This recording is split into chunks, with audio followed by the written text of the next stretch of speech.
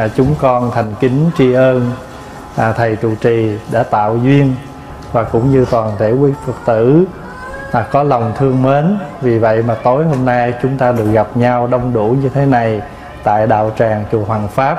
Chiều nay đại chúng có khỏe không? Quý vị có vui không?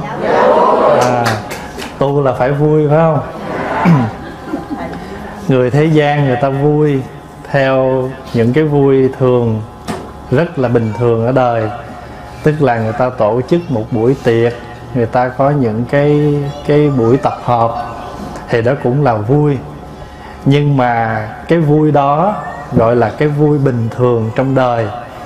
Nhưng mà cái vui của người phật tử á, là chúng ta vui mà có nội dung. Nội dung của chúng ta tức là chúng ta thật tâm chúng ta nghe pháp bởi vì khi mà chúng ta nghe pháp thì chúng ta mới thu lượm, rồi chúng ta gạn lọc, làm cho đời sống của chúng ta được an vui, hạnh phúc. Cho nên chúng ta gọi là pháp hỷ. Còn thế gian á, là người ta cũng có cái hỷ, nhưng mà cái hỷ đó là niềm vui bình thường. Theo thế gian hỷ, còn mình là pháp hỷ. Pháp hỷ là gì? Là niềm vui khi chúng ta nghe pháp niềm vui khi chúng ta ngồi thiền, niềm vui khi chúng ta niệm phật, tu tập. Cho nên cái niềm vui đó, sau khi mà mình nghe, mình có nhiều khi một bài giảng, một bài nói chuyện của một vị thầy nó bình thường, nhưng chúng ta lắng tâm, chúng ta nghe, rồi chúng ta sâu lắng và chúng ta tìm ra được một cái một cái đường, một cái hướng để cho cái tâm mình hết khổ. Cho nên á Đức Phật đã trải qua 45 năm để mà đi làm cái công việc gọi là thuyết pháp. Nhưng mà mục đích của đạo Phật, Đức Phật đi thuyết pháp không phải vì tìm kiếm tín đồ, gom thâu tín đồ để trở thành một vị giáo chủ cho đông những tín đồ, mà mục đích của Đức Phật duy nhất đó là làm sao cho chúng sanh mọi người hiểu thấu được cuộc đời bản chất của cuộc đời là khổ, là vô thường, là không có thường tồn. Vì vậy cho nên khi chúng ta thẩm thấu được thì chúng ta vượt được những cái khó khăn trong cuộc sống để chúng ta có niềm vui. Và có nhiều khi người đó không cần nhất thiết phải là đệ tử của Phật. Nhưng nếu người đó ở nơi lời Phật mà có được cái cái niềm tin kiên cố có được cái đường lối để hết khổ sanh vui, thì người đó, Đức Phật vẫn thành tựu được cái mục đích của Thầy nói tóm lại, mục đích của chúng ta, Đức Phật nói Pháp cho chúng ta là gì? Đó là sự giải thoát Giải thoát cái gì? Giải thoát những cái khổ đau, Triền phượt dính mắc trong đời sống của chúng ta Ví dụ như là người tu tịnh độ Đó là những người mà niệm Phật cầu vãng sanh. Thì cái tư lương của người niệm phật là gì? Quý vị hiểu chữ tư lương không? Chữ tư á, nghĩa là trợ giúp. Chữ lương là lương thực. Ví dụ như là mình sắp sửa đi xa. Mình sắp sửa đi xa thì mình chuẩn bị một ít lương thực để cho cái chuyến đi xa mình không có bị đói khát thì những cái món ăn mà chúng ta mang theo đó, chúng ta gọi là lương thực. Nhưng hay là chúng ta gọi là tư lương, nghĩa là gì? Là những cái này chúng ta mang theo để nó trợ giúp cho cái sự đói khát của chúng ta. Như vậy thì người niệm phật, cái người mà muốn tu niệm phật vãng sanh, thì theo giáo pháp tịnh độ đó, thì nói là người đó phải có ba cái tư lương đó là tính là nguyện, là hành. Nhưng mà nhiều khi chúng ta nghĩ chỉ có người tu tịnh độ mới có cái đó thôi. Thật sự ra, tu tịnh độ có cái đó. Nhưng mà tất cả chúng ta trong đời sống này, ai cũng cần có ba cái điều này. Để làm cái chuẩn mực, để làm cái cái vững chắc trên cái đường hướng thượng, hướng thiện, hướng giải thoát của chúng ta hay nó tóm lại một người sống ở đời là phải có ba điều, đó là tính, nguyện và hành. Cái chữ tính là gì? Theo như chữ tính viết trong tiếng hán đó, ở một bên là chữ nhân, ở bên là chữ ngôn. Người có lời nói là tính. Cho nên cái chữ tính viết là bên chữ nhân. Nhân là là người, chữ ngôn là lời nói người sống mà cái lời có lời nói, có ngôn từ, thì người đó tính. Rồi mình á, nghe cái người đó nói. Mình nghe cái người đó nói mà mình có niềm tin với người đó, cũng là tính. Ví dụ như người nói nói chân thật, và người nghe đó, tin cái lời nói đó. Thứ nhất là tin người nói, thứ hai là tin cái cái những gì người đó nói, gọi là tính ví dụ thôi bây giờ quý vị tin pháp hòa. Quý vị tin pháp hòa cho nên lời nói là pháp hòa nói ra quý vị tin. Người nói và những gì người đó nói mà chúng ta nghe chúng ta không nghi ngờ đó là tin. Vậy thì chữ tính đó, nghĩa là chúng ta có tin tưởng vào cái sức mạnh của sự tu tập. Quý vị nào tin tự tư tịnh độ thì điều này nhiều quá rồi. Tin có cõi cực lạc, tin có phật di đà, tin pháp môn này mầu nhiệm. Rồi sau đó mình tin rồi mình phát nguyện. Mình phát nguyện, mình làm, mình thực hành, mình tu tập. Rồi để có cái hành. Như vậy á, tin là nhân, nguyện là quả. Rồi nguyện là nhân, hành là quả mà hành là nhân, vãng sanh là quả. Như vậy thì trong cái nhân quả, trong cái tính nguyện hạnh đó, nó đều có cái nhân quả trong đó. Thường thường quý phật tử cứ nghe chữ nhân quả cái sợ, cứ nghĩ nhân quả là cái gì là xấu, nhưng mà thật sự nhân quả là cái từ chung để chỉ cho tất cả mọi nhân và quả. Nếu nhân tốt thì quả tốt. Ví dụ bây giờ mình không tin, sao mình tới nghe? Về thì ngồi đây nè ngồi đây là, là quả. Do gì? Do cái nhân gì? Nhân tính. Phải không? Rồi chịu khó ngồi nghe hết buổi là nhân. Rồi mình đó có được niềm vui trong tu tập là quả. Rồi lượm lặt cái gì mà về mình ứng dụng là nhân. Rồi mình có được niềm vui là quả. Cho nên bất cứ cái gì cũng có thể là nhân mà cũng có thể là quả. Cũng giống như mình nói hạt cam. Hạt cam là nhân. Nhưng mà trong hạt cam có quả không? Có có.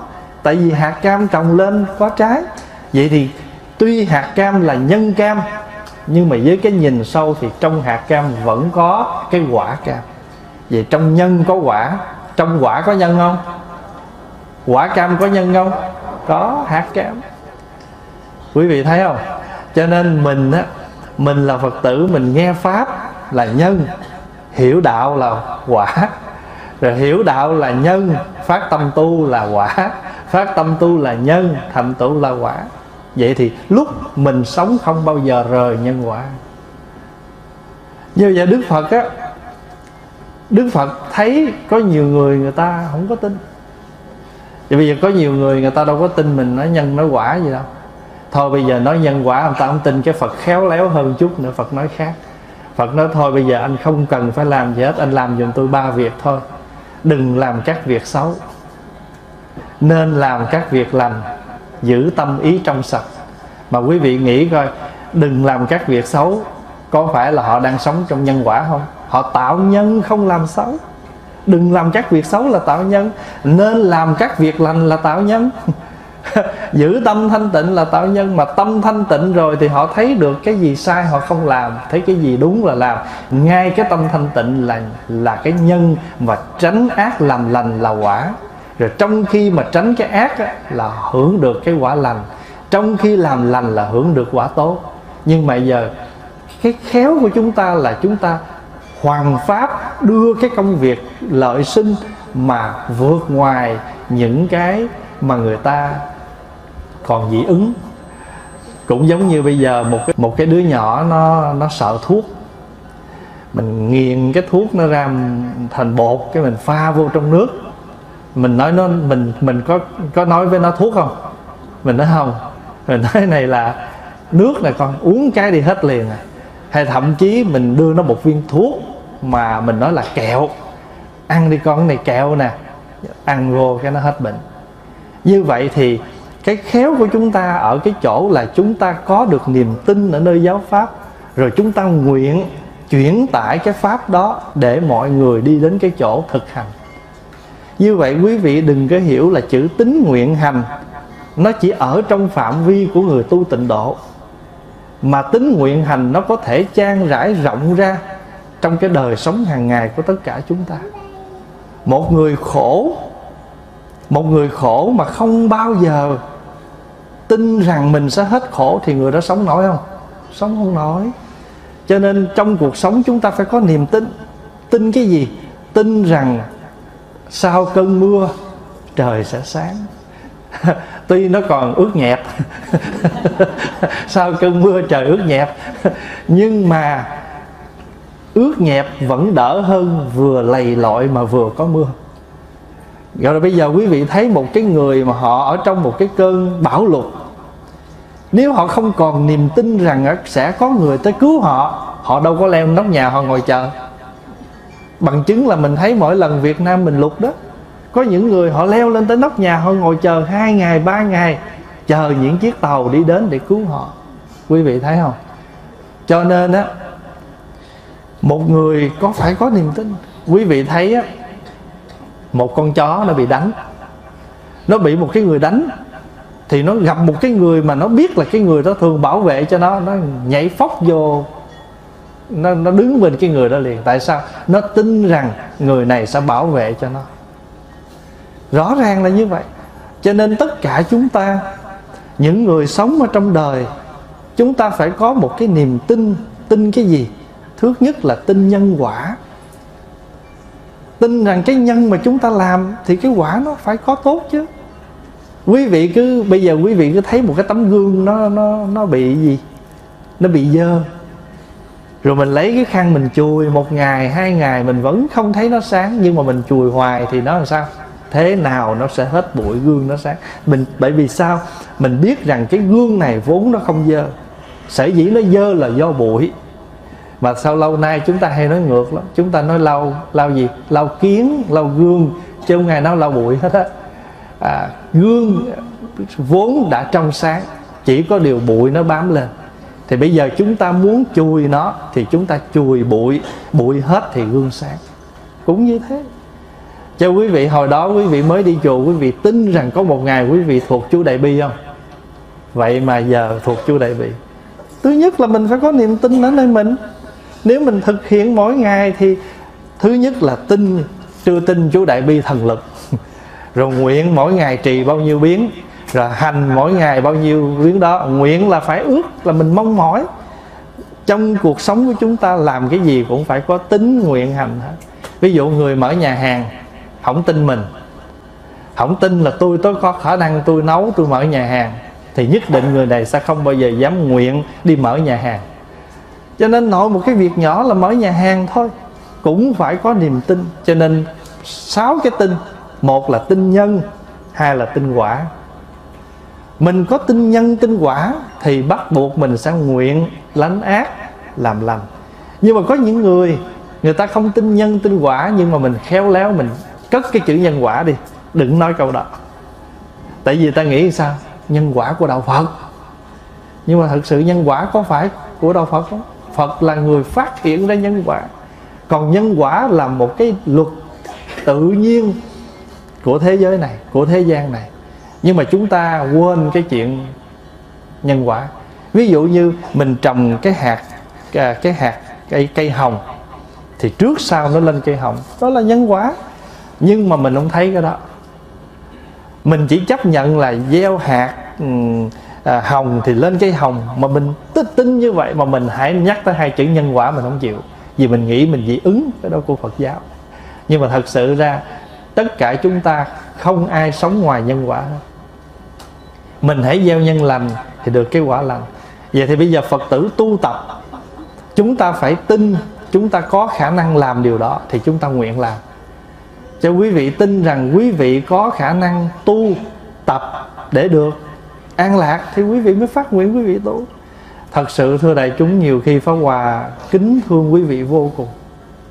Thương lắm, tại sao? Tại pháp hòa thấy quý vị quá siêng.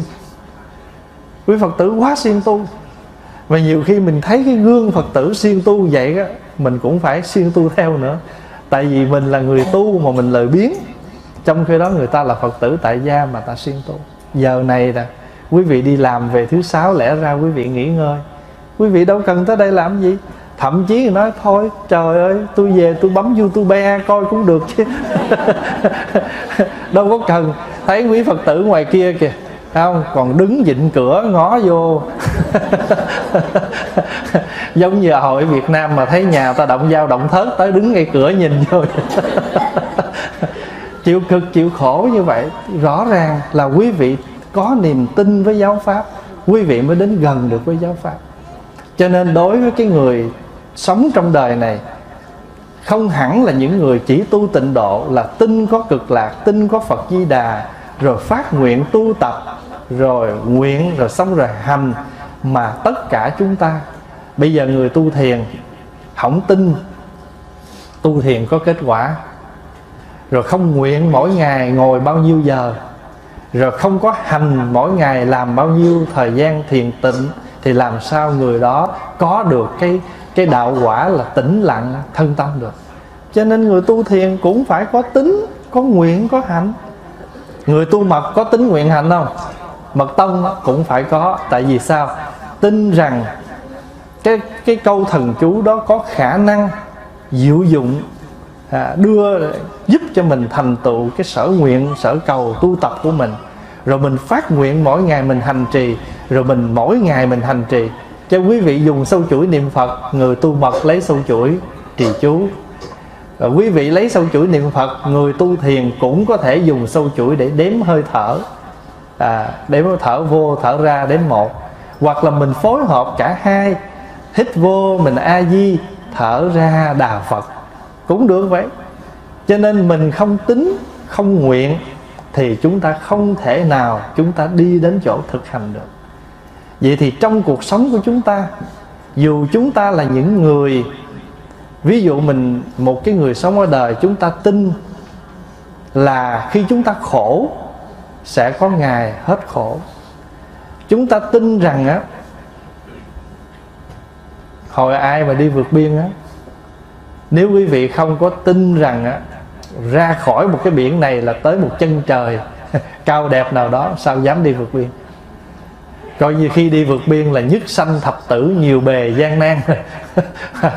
Nhưng mà mình tin qua khỏi cái biển này, mình sẽ đến một cái chân trời nào đó, đưa mình tới chỗ tự do, an vui.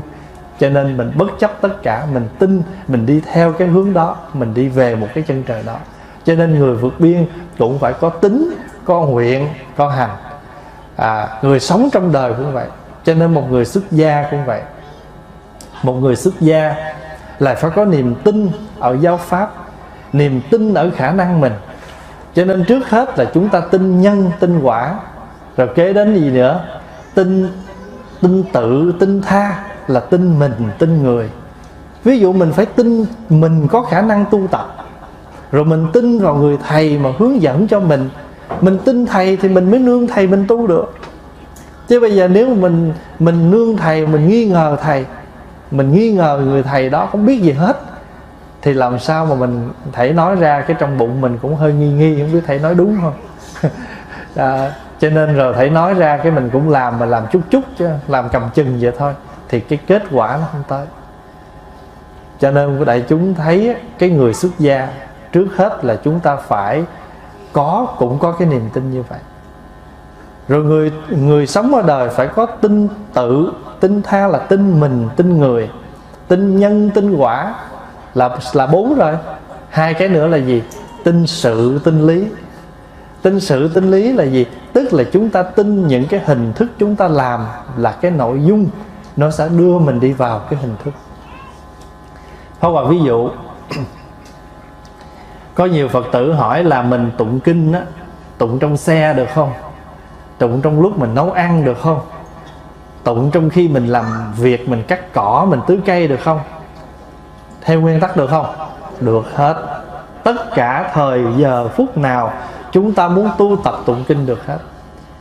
Nhưng mà nếu nói đúng ra cái thời khóa mà chúng ta quy định ở ngay bằng phật nó có cái lợi gì? Thứ nhất khi chúng ta lập thành một cái thời khóa, thì chúng ta sẽ trung thành với thời khóa và giúp cho chúng ta vượt qua được cái giải đãi để chúng ta đi tới cái chỗ tinh tấn. Đó là một lợi ích. Lợi ích thứ hai, khi chúng ta nằm tụng được, nhưng mà sự hôn trầm đi vào giấc ngủ dễ không?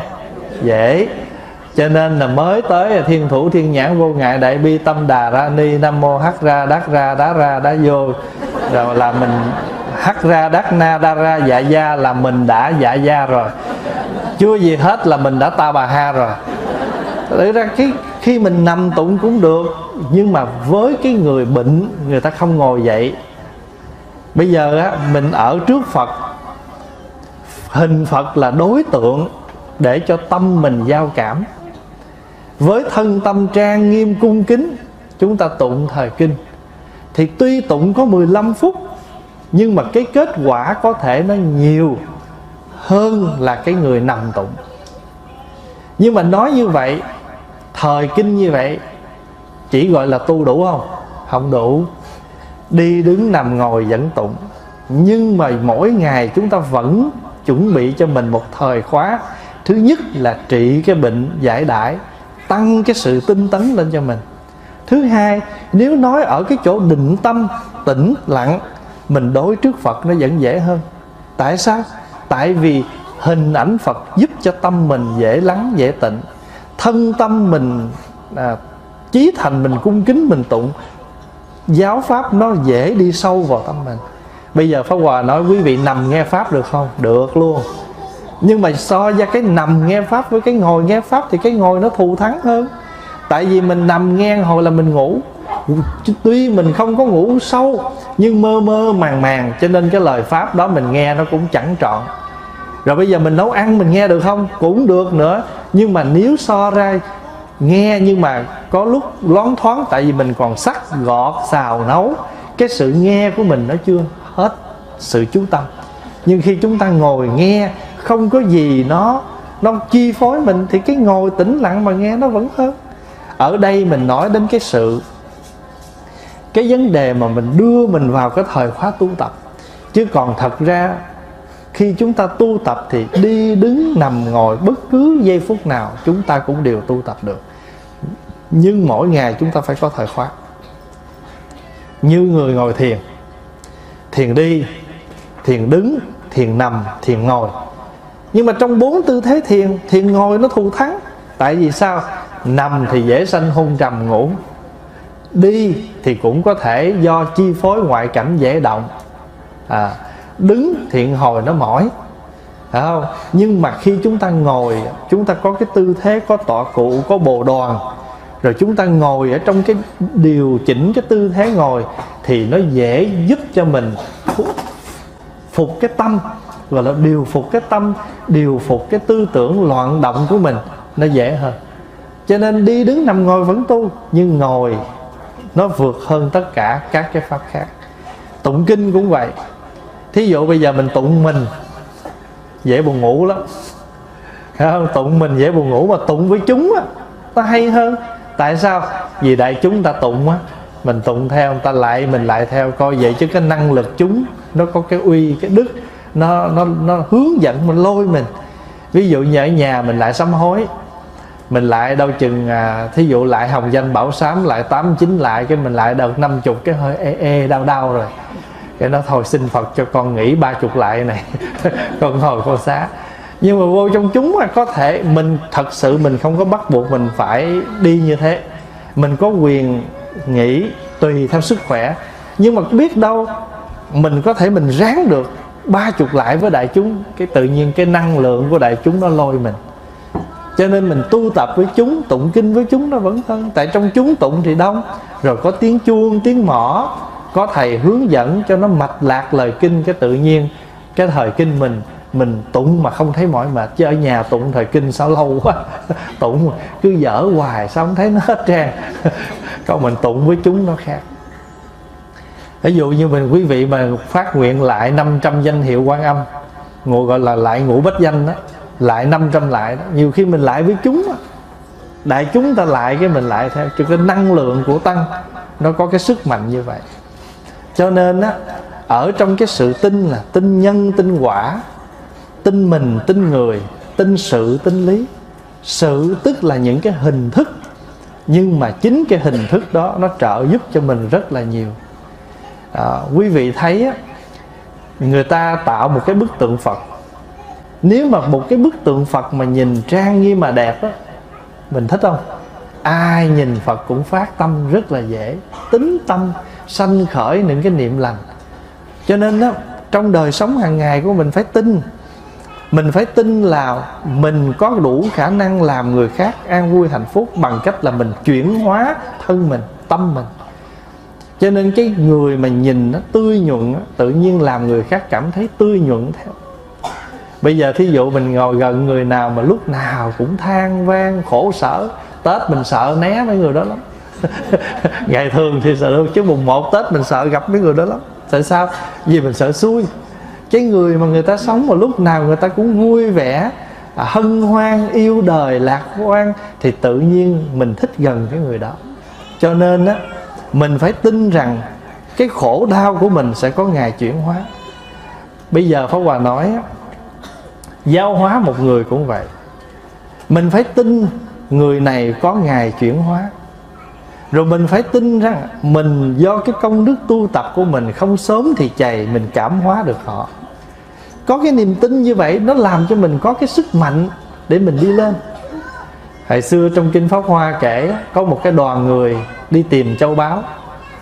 Đi nửa đường rồi, họ mệt mỏi quá, đi hoài mà không thấy tới nơi. Thì cuối cùng mấy người này tuyên bố lui, không đi nữa. Thì cái người dẫn đoàn đó thấy tội nghiệp quá, ông mới hóa ra thành một cái nhà. Ông mới nói, các anh ơi, tôi báo tin mừng cho các anh các anh tới nơi rồi. Thôi bây giờ các anh cứ vô đây mà nghỉ ngơi cho khỏe thế là mọi người vô trong đó nghỉ ngơi, ăn uống, dừng chân nghỉ ngơi, ăn uống rồi thì khỏe. Khỏe xong thì cái người dẫn đoàn mới nói rằng, tôi nói thiệt với ác anh, đường đi còn thêm 3 tiếng nữa. Nhưng mà bởi vì tôi thấy mấy anh mỏi mệt quá, các anh muốn đi về. Tôi sợ rằng các anh uổng công. Cho nên tôi hóa ra cái nhà này để cho các anh trụ ở trong này tạm. Bây giờ các anh khỏe rồi, phải không? Thì thôi các anh tiếp tục anh đi. Nhưng mà sau một ngày nghỉ mệt rồi đi được không? Đi được. Vậy thì cái người dẫn đoàn đó là đức phật. Chúng ta là những người đi tìm châu báu tu tập nhưng mà dễ lui sụp lắm. Đừng có nói chi mà cái chuyện gọi là đương sự thấy cái gì mà nhiều khi thầy không có làm gì lui sụp hết cho mình thối tâm lui sụp hết. Mình thấy những người xung quanh mình lui sụp cái mình nắm tay mình lui theo. Cho nên nhiều khi á, đức phật đâu có làm gì mà để mình lui sụp đâu. Phải không? Cho nên quý vị phải nhớ mình có ba điều bất thối nha. Bồ tát bất thối đó nhớ không? Bồ tát bất thối vì vì bạn lữ. Như vậy thì bồ tát bất thối cái gì gọi là bất thối? Chữ thối là gì? Chữ thối là lui. Chữ thối là lui. Thí dụ bây giờ cái gì gọi là bất thối nè? Bất thối có ba loại. Một á, là nguyện bất thối. Hai là hạnh bất thối. Ba là quả vị bất thối. Đó là ba cái điều bất thối mà chúng ta cần có. Nguyện bất thối. Mình tu mình phát nguyện nhưng mà rồi cái một cái phiền não nó đến cái nguyện mình rất lớn à. Cho nên rồi cuộc sống này quý vị thấy có nhiều người người ta dễ bỏ cuộc. Người ta dễ đi vào những cái chỗ trầm cảm khổ đau là vì người ta tuyệt vọng. Cho nên nhạc sĩ trịnh công sơn cũng có cái bài hát đó, đừng tuyệt vọng em ơi đừng tuyệt vọng. Chúng ta tuyệt vọng là gì? Là bởi vì chúng ta nghĩ rằng cuộc đời này không còn cái gì hết. Còn chứ cho nên á, ở trong đời mạt pháp chúng ta thường nói đời này đời mạt pháp không? Nhưng mà thật sự đó, pháp vẫn chưa mạt. Nếu ngày nào chúng ta còn tu tập theo lời phật cho, cho dù mình nói cho dù mình sống trong thời mạt pháp nhưng chính trong mỗi tâm của phật tử pháp không mạt thì không bao giờ có mạt pháp. Phá Hòa ví dụ như á quý vị thấy mình sống trong cái xã hội này quá chừng những cái vật chất cám dỗ. Nhưng mà trong xã hội hiện nay vẫn còn người tu không? Còn. Thì còn người tu. Cho nên ngày nào chúng ta còn người tu, còn sự tu tập thì giáo pháp chưa có mạng. Nhưng mà cho nên, vì vậy mà chúng ta phải tin rằng, chúng ta phải tin rằng phật pháp trường tồn, phật pháp trường tồn cửu trụ chữ cửu trụ là ở lâu dài trên thế gian này. Cho nên mình hay nói nó phật pháp cửu trụ. Phật pháp cửu trụ là lâu dài Mà lâu dài này không phải tự nhiên nó lâu dài được Mà chính mỗi nhân sự của chúng ta đây. Chúng ta duy trì được mạng mạch Phật Pháp Trong tất cả chúng ta bằng ba điều Tính, nguyện và hành. Ngày nào trong tâm Phật tử còn ba điều này Ngày đó Phật Pháp chưa đi đến đâu hết. Chưa có đến nổi rồi lui sụp đâu Mình tin rằng Mình tin rằng mình tu hoặc có kết quả. Mình phát nguyện mình tu tập mình hành theo những gì mình phát nguyện thì làm sao lui sụp được? Cho nên thí dụ như á, ngày nào mình mở còn mở trường việt ngữ ngày nào học em con em mình nó còn chịu khó nó đi học thì tiếng việt chưa đến nổi à, thí dụ vậy đó. Cho nên ngày nào mà quý vị phật tử còn mở pháp ra mà nghe mặc dù trên youtube có rất nhiều thứ để coi, có rất nhiều tuồng để xem, có rất nhiều nhạc kịch, nói chung là tất cả những gì quý vị muốn coi có hết. Nhưng mà vẫn còn có người mở pháp lên nghe, thì chúng ta chưa gọi là mạt pháp.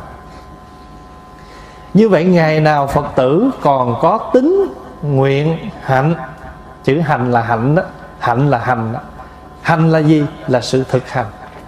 Mà ngày nào chúng ta còn cái đó thì làm sao chúng ta lui sụp được? Cho nên mình phải tin phật, tin pháp, tin tăng. Tin giới tin giới là gì? Là thánh giới của phật. Không bao giờ sai quấy. Bây giờ pháp hòa nói nè, ngày nào chúng ta còn giữ năm giới? Ngày nào thế giới này con người còn giữ năm giới căn bản của đạo phật?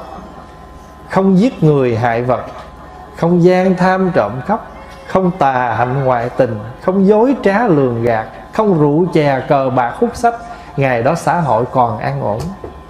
Như vậy năm giới này không chỉ riêng cho phật tử, mà năm giới này cho tất cả mọi con người. Ai muốn sống hạnh phúc, an vui thì cứ theo năm giới này mà làm.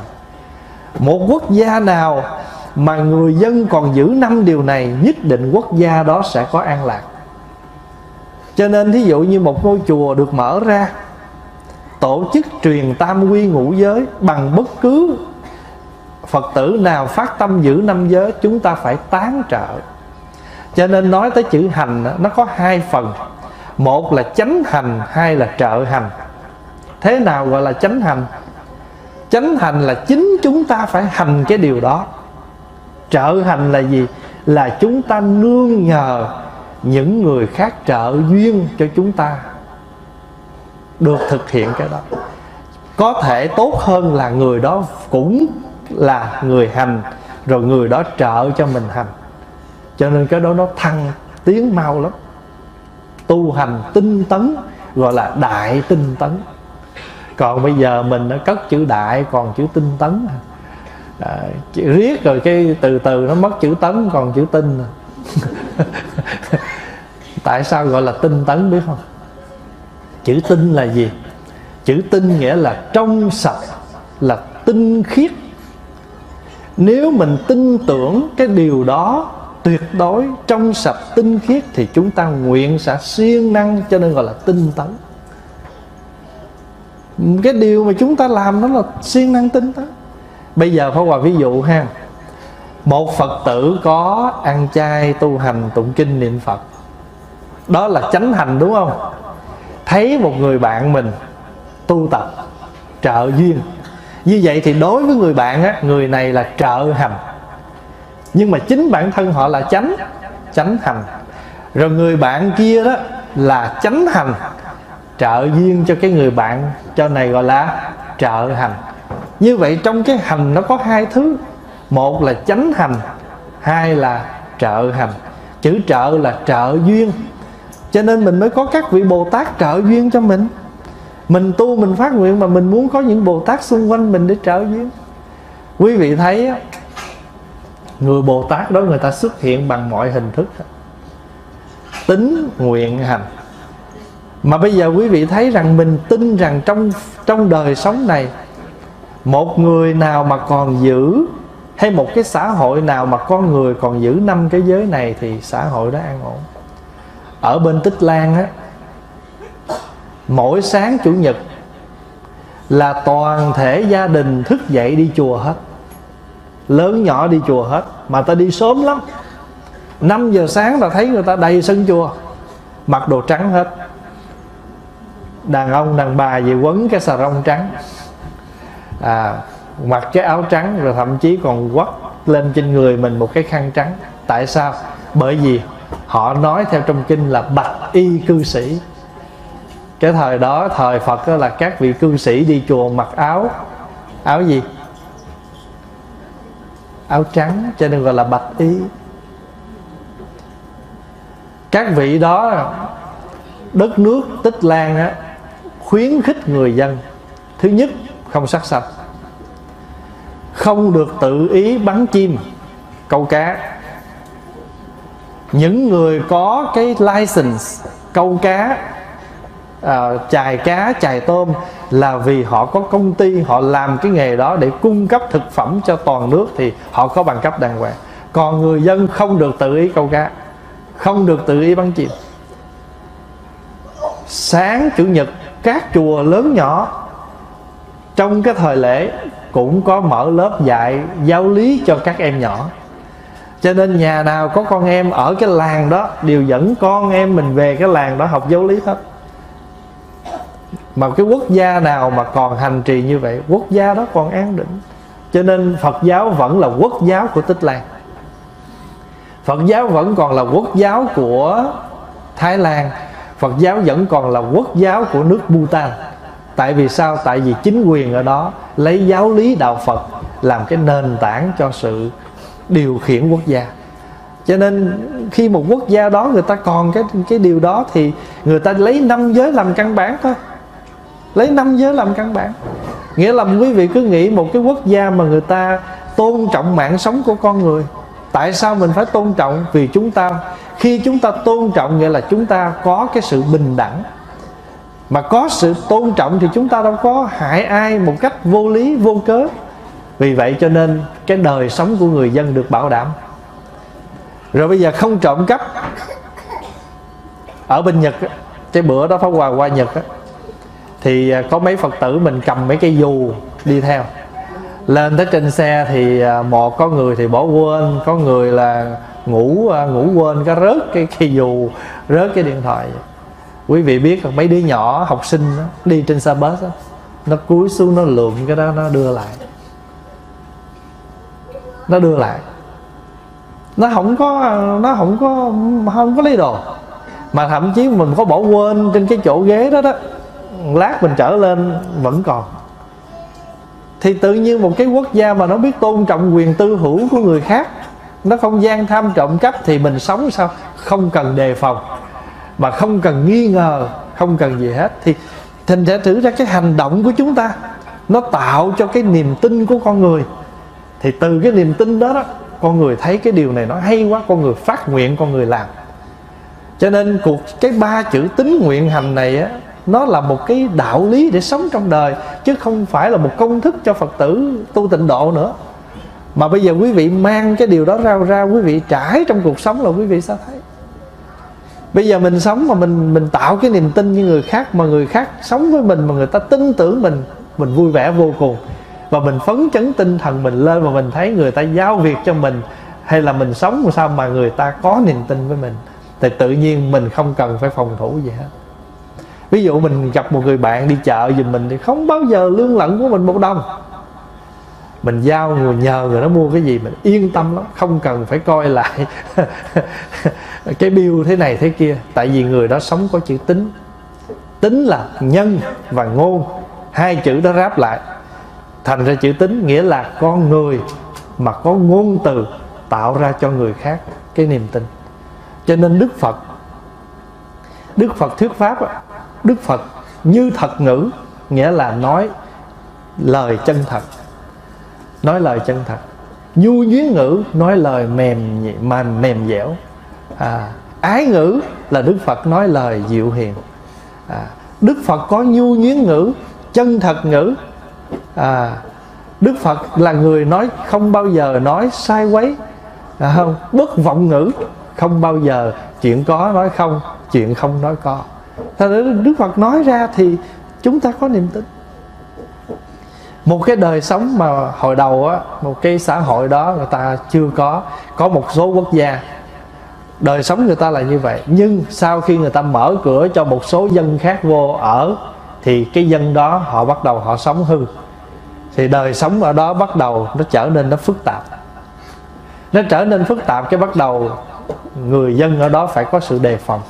Chính phủ ở đó bắt đầu ra những cái quy luật mà ngày trước không có. Cái chuyện đó quý vị đọc báo quý vị thấy đó. Đó, là tại sao? Tại vì người ta đã không còn giữ một số một số người sống mà không có cái tính không có cái nguyện thành thử ra không làm tăng trưởng cái tính cho người khác, không làm tăng trưởng cái nguyện cho người khác. Cho nên chánh hành là gì? Chính chúng ta phải sống để chúng ta trở nên một người trợ hành cho người khác. Pháp Hòa ví dụ như mình nghe cái chuyện gì của ai, Mình phải quán xét trước khi mình. Có những câu chuyện mình có thể đem ra mình chia sẻ với người khác Để người khác lấy cái đó làm cái cái cái cái nề mục để mà người ta hướng dẫn người ta thăng trưởng trong cuộc sống. Nhưng mà có những câu chuyện chúng ta không nên nói tại vì chưa đến lúc mà người đó mình có thể nói cái chuyện người đó ra. Mình tạo cho người ta cái niềm tin để người ta chia sẻ với mình. Tại tạo cho người ta niềm tin người ta chia sẻ với mình. Vì vậy cho nên á, trong cái đời sống hàng ngày đó chúng ta khi chúng ta hành á, chúng ta nhớ chúng ta là chánh hành. Nhưng mà chúng ta cũng là trợ hành cho người kế bên. Ví dụ như á, chúng ta sống an vui.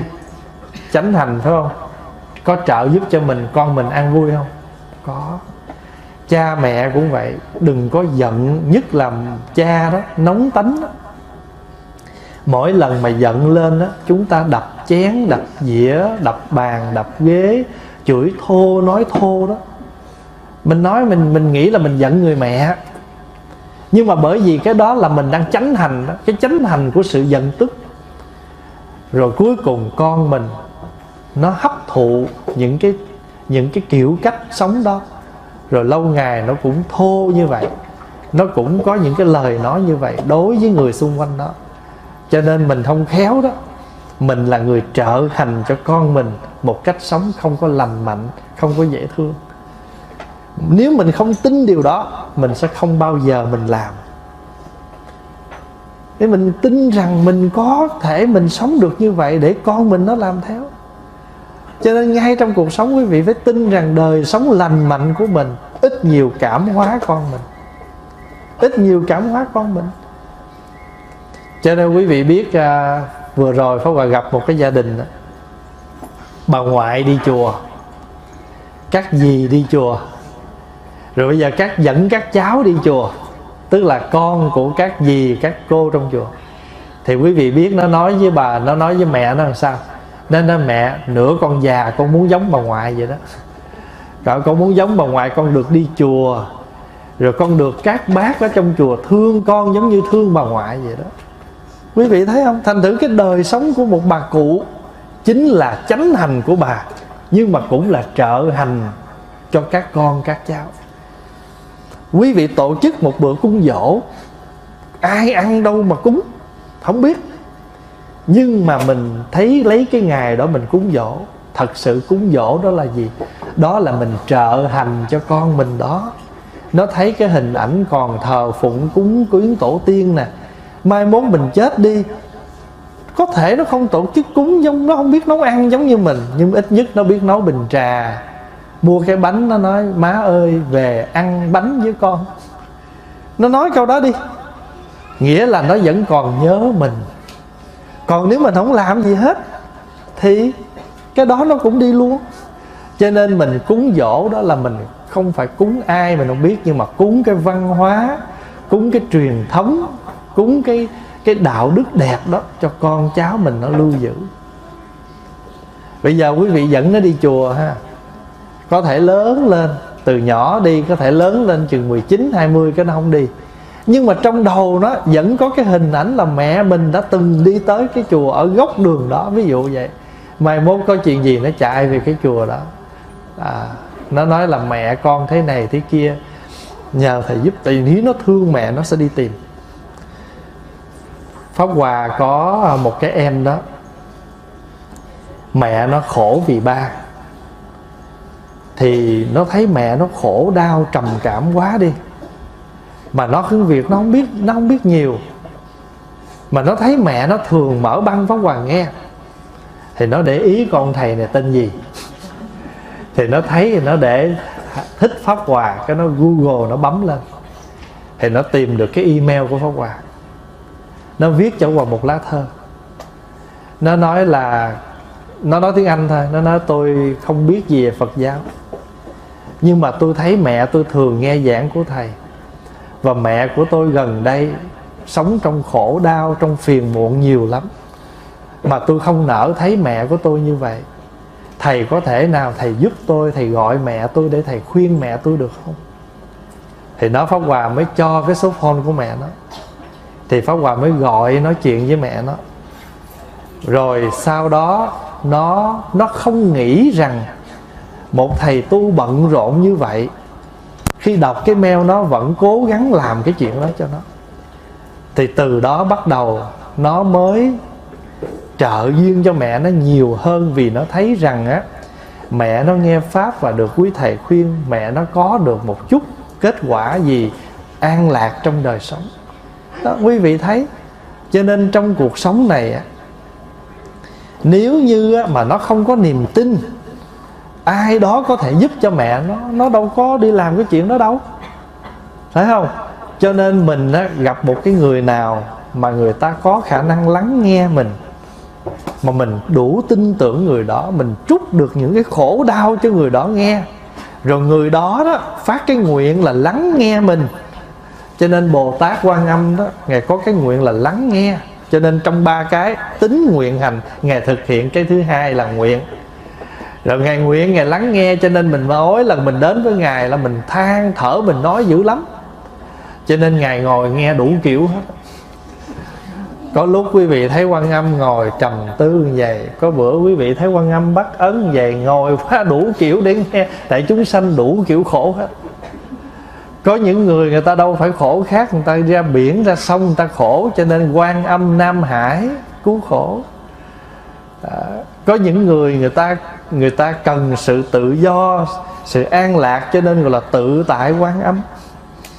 Có những người người ta cần vượt thoát những khổ đau cho nên có quan âm, liên hoa quan âm. Mình có 32 ứng thân quan âm. Và có những người người ta chỉ cần một đứa nhỏ đi tới với người ta, cười, nói, giỡn, hồn nhiên để người ta vui vẻ, quan âm cũng có thể thị hiện làm đứa nhỏ đó. Cho nên nơi nào cần hiện đồng nam đồng nữ vì đó nói pháp. Quan âm sẽ hiện đồng nam đồng nữ vì đó nói pháp. Đức quan âm không có cái đó làm sao nguyện được.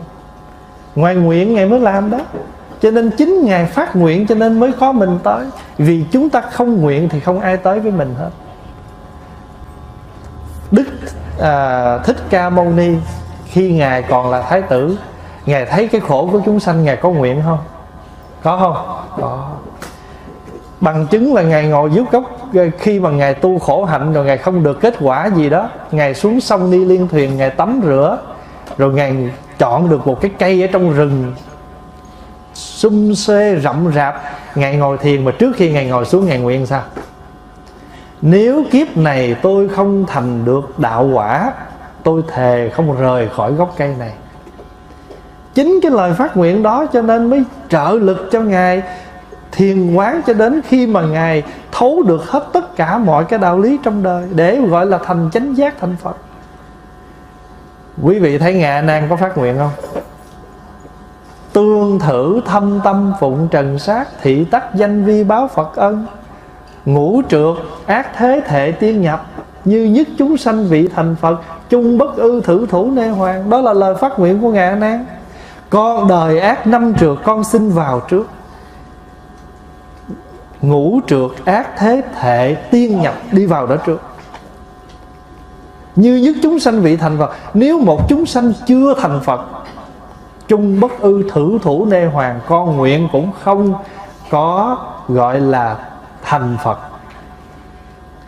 Cầu xin Phật Đại hùng, đại lực, đại từ bi Hy cánh thẩm trừ vi tế hoặc Linh ngã tảo đăng vô thượng giác Ư thập phương giới tọa đạo tràng.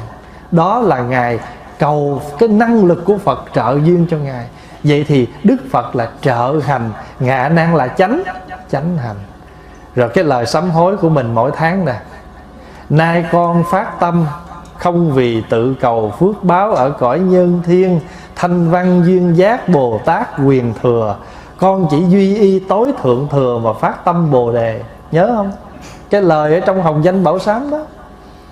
Ngã kim phát tâm bất vị tự cầu nhân thiên phước báo thanh văn duyên giác Nại chí quyền thừa.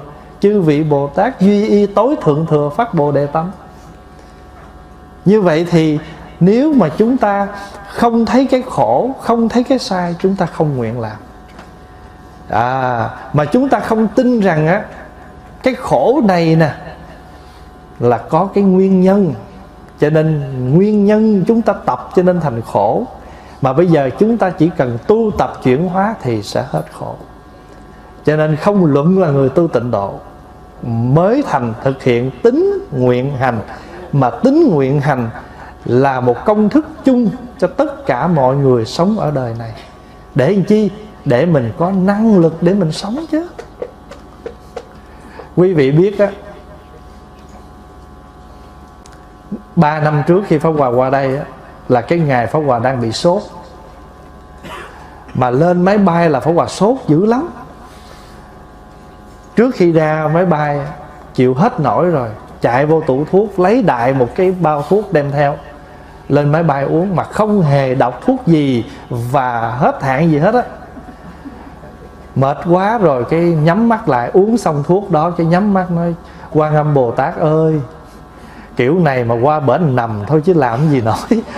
Thôi bây giờ con giao cho ngài đó, con không biết đâu. Có mình nói vậy đó. Cái rồi cái là nhắm mắt. Quý vị biết ngủ từ Vancouver, ngủ qua tới Sydney. Gần tới Sydney, cái tỉnh táo hết bệnh, người nó hết sảm, hết sốt. Mà hồi nãy mình lên mình ngồi là người mình cảm sốt khủng khiếp lắm. Định bụng là qua là thế nào cũng nằm ít nhất 3 ngày vậy mà réo quan âm mà mà quan âm giọt vô máy bay liền. Tới hồi tỉnh tỉnh rồi cái nó cha thuốc gì mà linh diệu quá đâu mình coi cái thuốc gì. Kéo ra nhầm cái ni cái viên thuốc cảm mà hết hạn năm rồi. Vậy mà hết bệnh. Xuống tới Sydney là Pháp Hòa khỏe ru không có bệnh hoạn gì hết. Mới đủ năng lực một tháng trời cách đây 3 năm trước. Lần này bệnh tiếp trước khi đi là không biết mắc gì, cái nửa đêm nó trúng gió. Nó nó nó trúng gió mà nó nhức hết nửa bên tay dở đâu có được. Mà tới giờ ra phi trường rồi, cái lấy đại mấy miếng thuốc dán dán vô. Trong khi mà thầy đức tạng đang kéo thuốc dán, cái pháo quà cũng dở dở ra coi coi thuốc dán này hết hạn năm rồi à. hết hạn rồi đầu tháng 1 2017 nhưng mà thuốc dán không có sao hết á thuốc tây cũng sao hết. Thuốc tây hết hạn một năm uống vẫn được như thường. Chứ đừng có dục mất quá công hiệu nó ít ít uống tăng lên. Quý vị biết là chờ ở Los Angeles 7 tiếng. Bay từ Edmonton qua Los Angeles phi trường chờ 7 tiếng mới có chuyến bay qua Melbourne. Thì thầy Đức Tạng cho tin mấy Phật tử biết cái mấy Phật tử vùng đó ra rước vô rước vô về nhà cho ăn uống rồi nghỉ ngơi rồi xong xuôi rồi á, cái tự nhiên mới nói cái vụ nhức tay nè, cái mấy anh Phật tử đem vô giác hơi. Giác bầm hết cánh tay này. Nhờ vậy mới qua đây mới quơ tay quơ chân nổi. Cho nên trong cuộc sống của chúng ta, bất cứ việc gì chúng ta làm, chúng ta phải có cái nguyện rồi chúng ta mới làm. Mà cái gì nó đưa đến cái nguyện? Niềm tin. Cái niềm tin là chúng ta có khả năng làm điều đó. Cho nên quý vị khổ quý vị đừng có nghĩ rằng á, cuộc đời mình là khổ nhất không có nhất đâu. Tại là nhất gì nhất là tại vì mình nghĩ mình con mình mình nhất à. À thành ra ở cái đời nó khổ lắm. Hay cũng dành hay nhất mà khổ cũng dành khổ nhất. Mắc chi giờ dành cái nhất? Có những người còn khổ hơn mình. Nhưng mà ta, tại sao ta vẫn sống? Tại vì người ta có niềm tin là một ngày mai tươi sáng. Người ta có niềm tin là một ngày mai sẽ hết khổ. Người ta có niềm tin là người ta tu tập, người ta sẽ có được sự an vui giải thoát. Cho nên đức thích ca mâu ni còn là thái tử. Ngài đi tầm đạo và cuối cùng ngài tin rằng với cái năng lực tiến bộ này, ngài sẽ phát triển, ngài sẽ giải thoát ngài sẽ giác ngộ. Cho nên ngài ngồi dưới gốc cây ngài ngài thành tựu được đạo quả. Cho nên mình mới gọi ngài là là giác ngộ. Giác ngộ là người hoàn toàn sáng biết nhận hiểu ra tất cả mọi cái hành pháp trên thế gian này. Đối với cái người tu tập á, chúng ta cũng có ba điều nữa. Một là phải tâm tha thiết. Hai á, là ý chí ba là niềm tin. Ví dụ người tu thiền đó phải có cái tâm tha thiết phải có cái ý chí mãnh liệt. Rồi quý vị biết á, lên máy bay á, thí dụ mình đi đâu đi bước vào máy bay cái nói xin chào hành khách ha. À, à, welcome gì đó nói xong cái chuyến bay này sẽ kéo dài 14 tiếng. Trời ơi mình nghe 14 tiếng là nó dài thâm thấm. nhưng mà thường thường chắc chuyến bay xa đó họ bay khuya chi biết không? Cho mình ngủ ngủ để làm chi? Để mình bớt cái gì? Bớt cái đêm dài. Phải không? Mình bớt cái đêm dài tại vì thường thường ta quan niệm mà thức đêm mới biết đêm dài. À, thức đêm mới biết đêm dài cho nên rồi mình mà có cái mình là mình mà ngủ mình tối là mình ngủ cho nên ở cái trụ xứ của mình á đi đâu xa là thường người ta bay khuya để mình lên máy bay, mình ngủ một giấc, vài ba tiếng 7 tiếng 6 tiếng, nó cũng đỡ lắm. Cho nên rồi 14 tiếng ngủ đâu có thẳng giấc 14 tiếng được. Dài ba tiếng cái mình giật mình, cái mình coi đồng hồ có mấy tiếng rồi mấy giờ rồi. À còn 5 tiếng, còn 6 tiếng gì đó. Tự nhiên nó làm cho người tin là mình sẽ tới. Vậy đó. Cho nên đó mình có niềm tin thì mình sẽ vượt tất cả mọi cái trong gai, mọi cái chướng ngại cho nên một cái người đi xuất gia cũng vậy. Mình đi xuất gia rồi là do đâu mình xuất gia? Đâu có ai ép mình, phải không? Vì mình tin tưởng vào cái con đường xuất gia của mình, cho mình phát nguyện mình xuất gia. Cho nên một khi mình đã xuất gia rồi thì không có gì làm cho mình lui sụp trên cái con đường xuất gia của mình hết. Tại sao? Vì mình có ý chí. Ý chí là gì? Nếu chỗ nào cho mình ăn mà không cho mình giáo pháp. Chỗ đó không phải chỗ mình ở.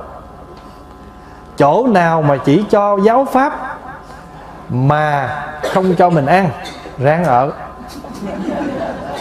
Còn chỗ nào mà cho mình ăn cho mình luôn giáo pháp lì mà ở. Tại sao? Tại cái chỗ đó cho mình giáo pháp mà cho mình luôn cái sự ăn ở. Chửi cũng ở. tại, tại vì sao? Tại vì chỗ đó cho mình được hai điều đó. Nếu mình đi tu mà mình chỉ được ăn mặc mà không có dạy dỗ không có tu tập thì chỗ đó không phải chỗ mình ở. Tại vì nó, nó không đúng cái chí nguyện đi tu của mình. Cho nên vì sao mình giữ được cái ý chí đó? Vì cái chỗ đó có ăn ở và có sự tu tập. Ý chí đó mình kiên cường. Cái thứ hai đó mình nhìn gương các tổ. Mình nhìn gương của các tổ quý vị thấy không? Ngày xưa mà tổ đạt ma không có ý chí cầu đạo thì làm sao à, xin lỗi ngài huyền quang không ý chí cầu đạo làm làm sao mà được à, à, à, tổ đạt ma nhận làm đệ tử? Quỳ ở ngoài tuyết quỳ ở ngoài tuyết ngài thần quan đó quỳ ngoài tuyết. Rồi tổ mới thấy cực khổ như vậy đó tổ xây lại số hỏi ông đến đây cầu cái gì? Nói dạ con đến đây cầu đạo. Tổ nói, đạo cao siêu lắm. Một chút công sức quỳ ở phía ngoài tuyết này không đủ để cầu đạo. Ngài thần quan chặt cánh tay, dưa lên tổ, nói, như thế này đủ cầu đạo chưa? Lục, ngài sơ tổ đạt ma nói, khá khá. Cho nên đặt pháp danh là huệ khả. Huệ khả là gì? Người có trí tuệ khá tốt. Khả khả nhị khả nhị khá tốt. Vậy khả, vậy thì đức phật của chúng ta tu 6 năm khổ hạnh phải không? 6 năm tầm đạo chốn rừng già. Khổ hạnh ai bằng sĩ đạt ta? Chim hót trên vai xương phủ áo, hưu kề dưới gối tuyết đơm hoa. Rồi cuối cùng cái gì?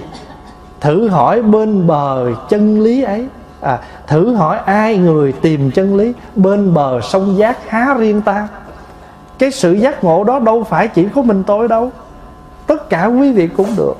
Nhưng mà tại quý vị không đủ niềm tin không đủ nguyện lực. Không đủ nguyện lực. Thái tử giật uh, sa nặc dậy.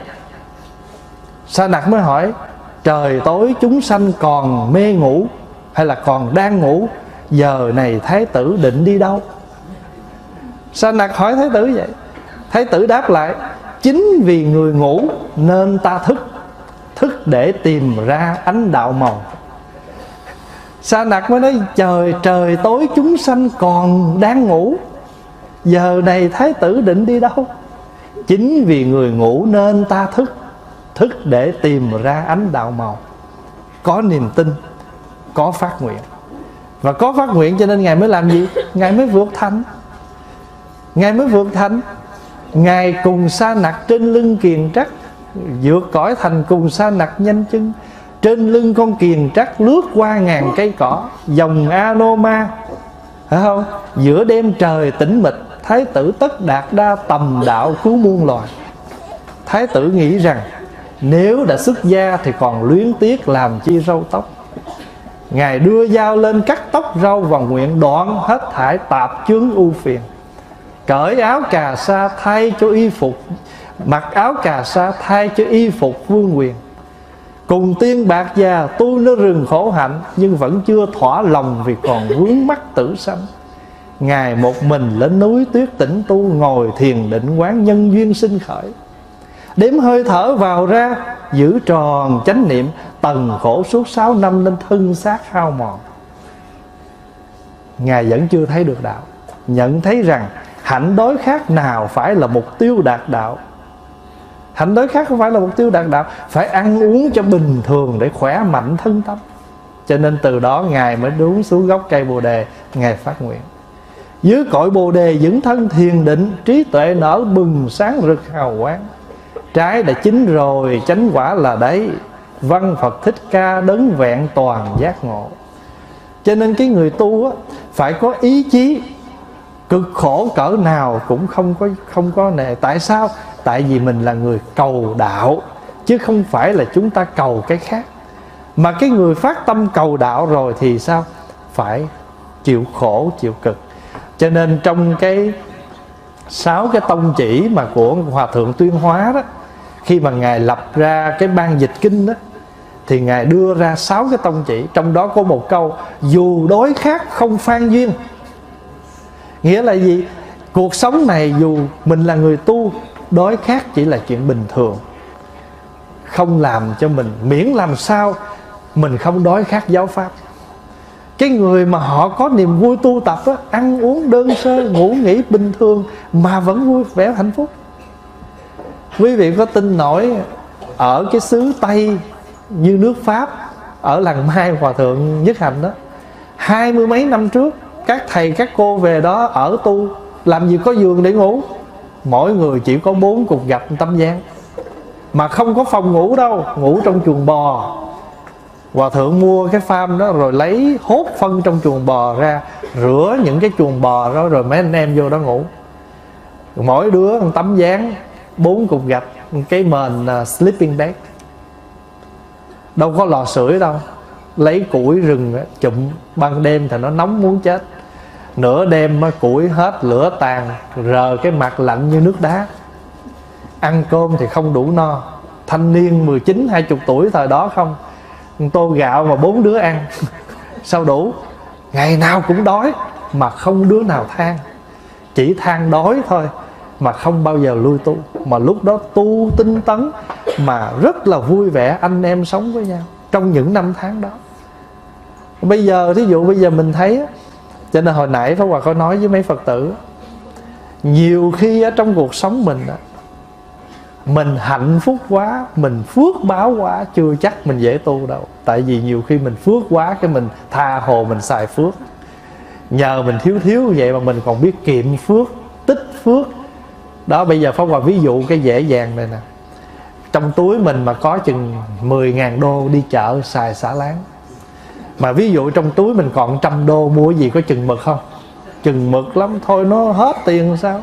Đó, mình ví dụ vậy thôi.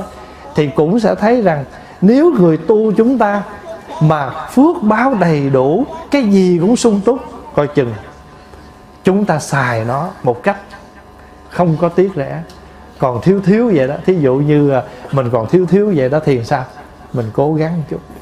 Cho nên cái ý chí tu hành của mình quan trọng lắm. Mà vì sao mình có được ý chí đó? niềm tin mãnh liệt.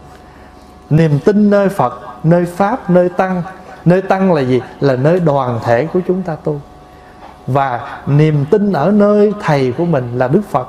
Niềm tin ở nơi lời dạy của đức phật. Có đủ khả năng chuyển hóa. Bằng chứng là gì?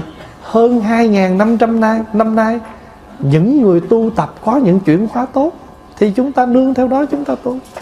Cho nên giáo pháp của Phật có đủ ba điều. Một là hướng thượng, hai là hướng thiện, ba là hướng giải thoát. Cho nên mình phải có ý, phải có niềm tin, phải có ý chí. Và cái cuối cùng là gì? Phải thiết tha cầu đạo. Thiết tha cầu đạo. Mà cái chữ đạo ở đây Pháp Hòa muốn nói là không phải đạo Phật không phải là đạo Phật.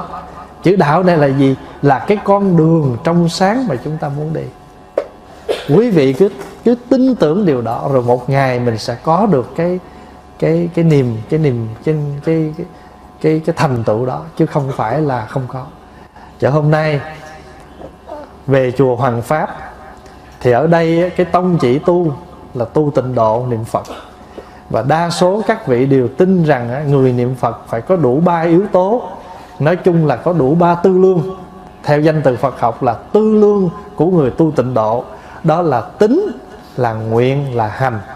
Bây giờ Pháp Hòa muốn nói lại, tính nguyện hành này không chỉ để cho người tu tịnh độ, mà tính nguyện hành này là công thức chung cho tất cả mọi người sống ở đời này. Nếu chúng ta tin tưởng rằng mình có khả năng làm điều đó lời phật dạy có khả năng làm điều đó hay là chân lý có khả năng giúp cho mình như vậy? À ví dụ như bây giờ á, có nhiều người á, có những vị tổ ngày xưa đó họ bị bắt rồi biểu nói ngược lại nói không thà tôi chết chứ chân lý tôi không thể nói ngược được. Vì họ tính điều đó cho nên tính nè rồi nguyện nè rồi hành nè mình tin rằng cuộc đời mình sẽ có ngày, sẽ được trong sáng. Đâu có cuốn sách nào mà không có trang cuối đâu.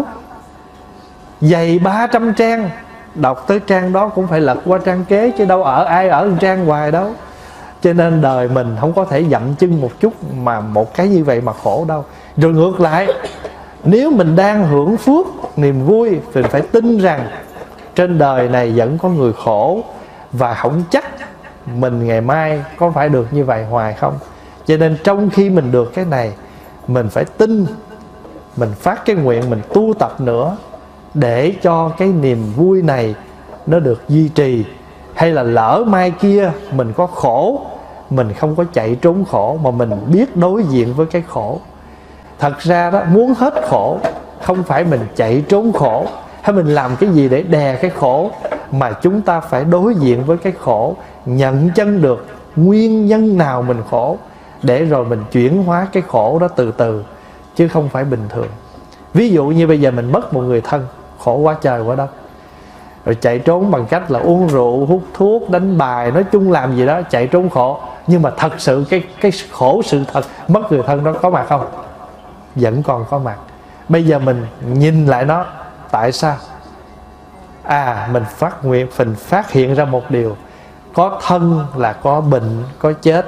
Theo công thức là sanh, già, bệnh, chết. Nhưng mà trên đời này mấy ai được cái công thức đó đâu. Có nhiều khi mới sanh, bệnh, chết mà chưa tới già. Thấy không? Tôi thấy được cái gốc đó. Vậy là cuộc đời này, công thức chung là sanh, già, bệnh, chết. Nhưng mà có những người sanh là sống là có rồi già thì chưa, nhưng mà bệnh rồi chết. Rồi cái thứ hai là chúng ta, vì chúng ta không chấp nhận sự thật, cho nên chúng ta khổ, chúng ta dừng dậm chân, chúng không, chúng ta không đi tới. Còn bây giờ chúng ta chấp nhận thì chúng ta vượt khổ. Kỳ rồi Pháp Hoài đi giảng bên Mỹ á, còn 15 phút nữa ra giảng à. Thì có một gia đình chạy vô, nói, thầy ơi, thầy giúp giùm đứa em này, ba nó mới mất đột xuất mà bây giờ em nó buông xuôi quá, nó không muốn làm gì hết, mà gần như nó bị trầm cảm vậy đó.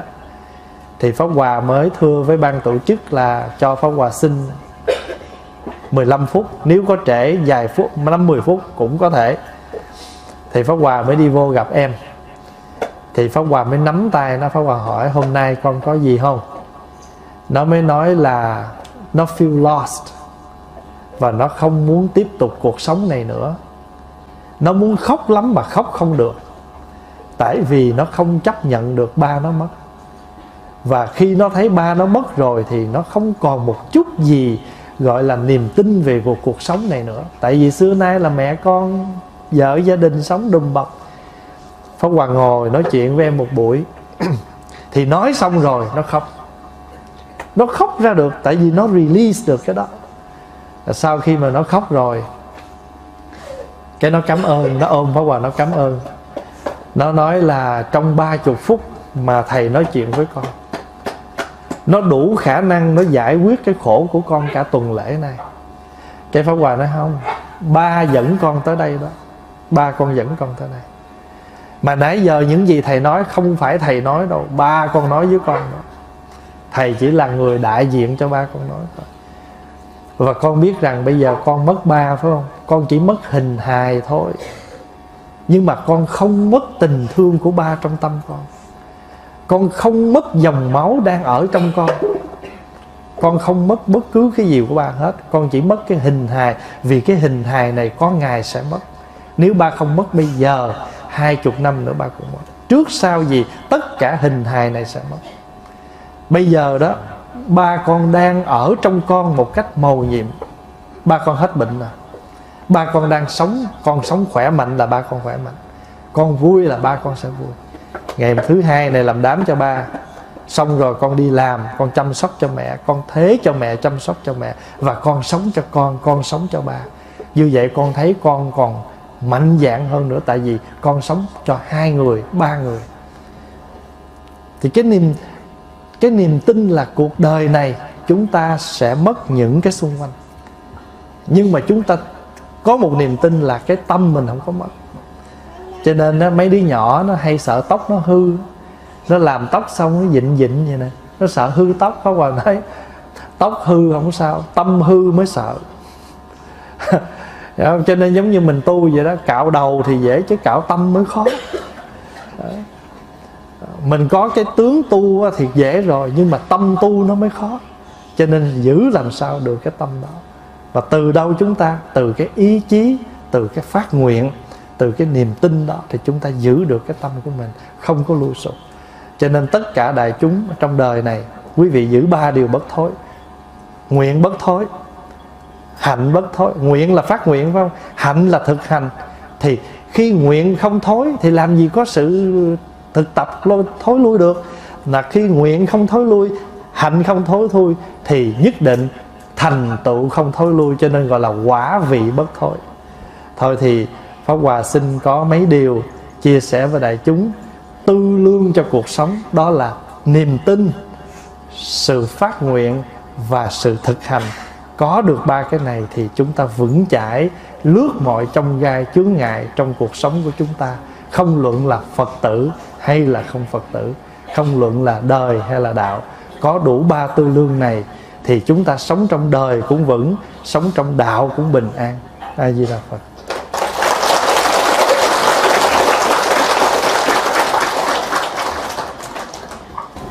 Nam mô bổn sư thích ca mâu ni phật. Kính bạch trên thầy, kính thưa cùng à, toàn thể đại chúng. 90 phút đã trôi qua chúng con thành kính tri ân thầy đã nhắc nhở và sát tấn chúng con. Hãy cố gắng có niềm tin với tính hạnh và nguyện trong đời sống tu tập của mình.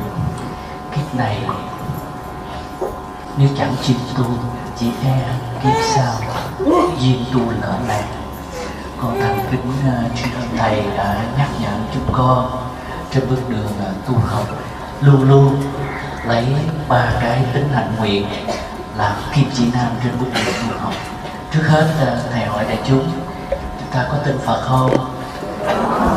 Yếu quá vậy. Quý vị có tin pháp không? Tin pháp như ngồi đây nè. Rồi quý vị có tin tăng không? Cho một tràng phá tay cảm ơn quý vị thấy không? Thầy dạy chúng ta tin phật tin pháp tin tăng. Tin tăng mà chúng ta không còn nghi nữa.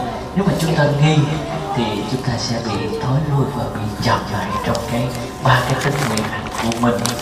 Hôm nay à, đạo tràng chùa Bồ Pháp chúng con à, một lần nữa lại được nghe những lời à, pháp thoại do chính kim khẩu của thầy truyền đạt lại cho chúng con. Chúng con xin lấy đó làm kim chỉ nam trên bước đường tu học tu nhân học Phật của mình và xin khắc phục cái tâm những lời thầy dạy. Chúng con à, xin thay mặt cho toàn thể quý Phật tử có mặt trong đạo tràng. Tích pháp hôm nay xin à, gửi lời tri ân đến thầy Con- nguyện con- con có- phương chư Phật. con có nắp kinh. Tam bảo hiện tiền chứng minh gia hộ cho thầy thân tâm mình thường lạc. Bệnh nghiệp quan kim đều được tiêu trừ đạo ngày càng cao, đức ngày càng tăng trưởng, trí sáng, huệ khai, nói hơn dòng thánh, truyền theo chân pháp, tiếp dẫn hậu lai báo phật ân đức.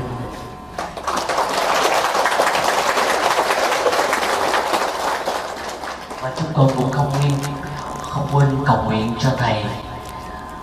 Luôn gặp mọi tái duyên của thánh trên bước đường hành đạo. Và kính cầu nguyện người phương chư Phật tam bảo gia hộ cho thầy được thành tựu viên mãn mọi ước nguyện và hạnh nguyện của thầy trong kiếp lai sanh này. Chúng con xin thành kính tri ân thầy.